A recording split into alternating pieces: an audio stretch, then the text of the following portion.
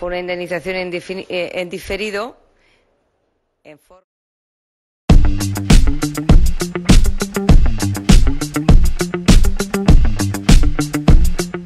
ni exenciones, ni menús a la carta.